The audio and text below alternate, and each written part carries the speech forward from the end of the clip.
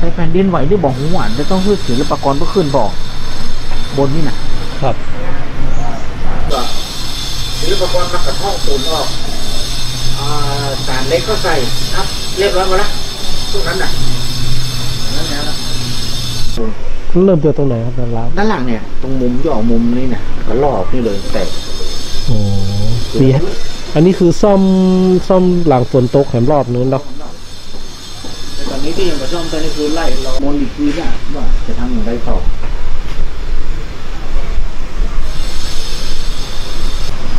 ต้องรอศิลปากรเขาว่า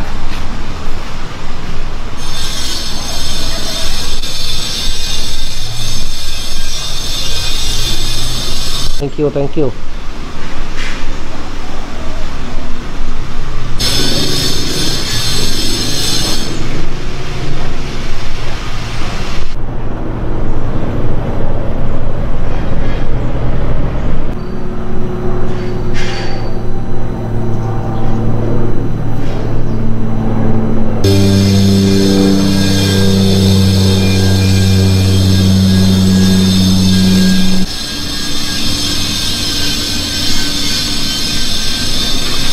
แผ่นดินไหวเนี่ยหลวงพ่อตื่นแล้วครับ ตื่นแล้ว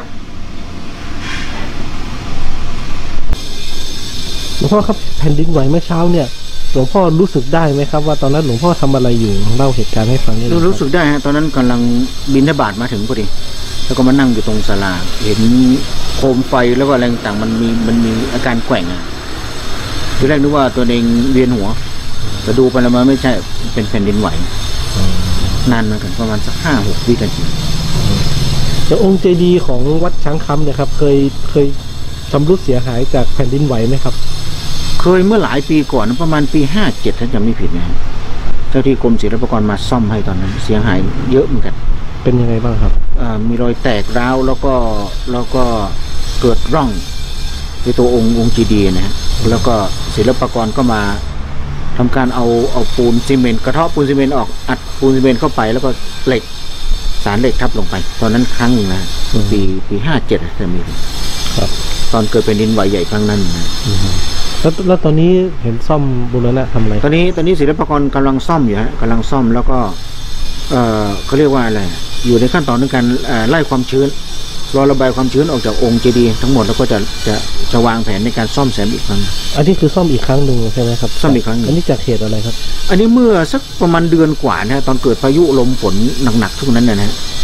แล้วเกิดการพังพังลงมาของปูนซึ่งซึ่งครอบองค์เจดีย์ระหว่างปูนเก่ากับปูนใหม่ไม่ติดกันอืมแล้วก็เกิดพังลงมา แล้วก็ตอนนี้ศิลปากรก็ก็จะดำเนินการซ่อมให้อีกครั้งหอืนึ่งม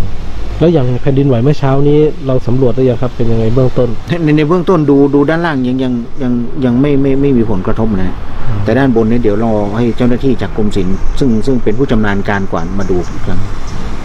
แต่คิดว่าคงคงไม่เป็นอะไรมากครับเมื่อเปรียบเทียบกับปี 57ไหนแรงกว่ากัน ปีห้าเจ็ดแรงกว่า รู้สึกได้รู้สึกได้